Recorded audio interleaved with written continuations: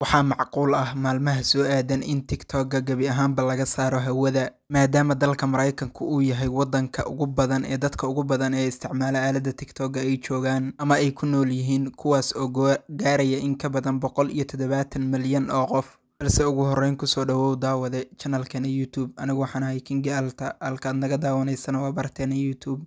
Subscribe iyo like-tana ha naga hilmaamin, mahadsanid. Golaha Wakiilada dalka Mareykanka waxay ansixiyeen in gebi ahaanba hawada laga saaro aaladda TikTok ama gebi ahaanba laga xiro aaladdan dalka Mareykanka.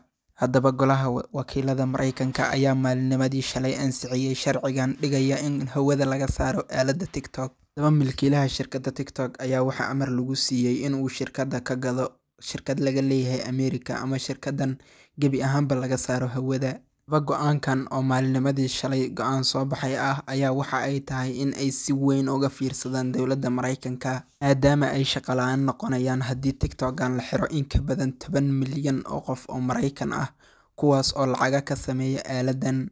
Halka dadka ugu badan ee ku nool dalka Mareykanka ay isticmaalaan aaladdan TikTok, halkaasna laga yaabo in ay caqabad weyn kala kulanto dowladda Mareykanka dadka shacabka ah oo ay ku kacaan.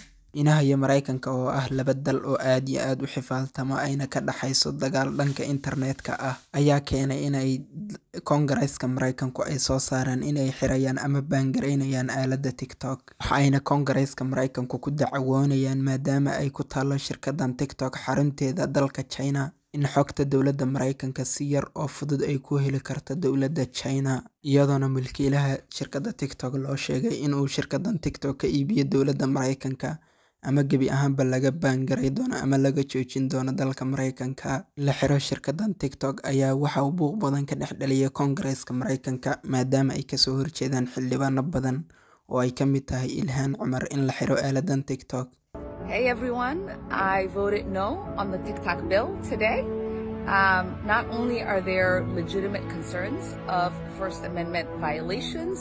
Balse si kastay ahaataba haddii dalka Mareykanka laga joojiyo TikTok-ga oo ay ka isticmaalaan in ka badan boqol iyo tadawatan malyan oo qof, haddii laga xiro ama laga joojiyo waxaa ku soo xigi kara ama ku daysan kara in ka badan ama inta badan dowladaha waaweyn ee dunida oo iyaguna isku daya inay xanibaan aaladdan. Inta badanna wuxuu sababi doonaa in uu hawada ka baxo application-kan oo dunida oo dhan laga xiro.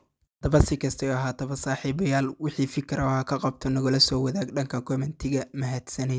hey everyone, I voted no on the TikTok bill today.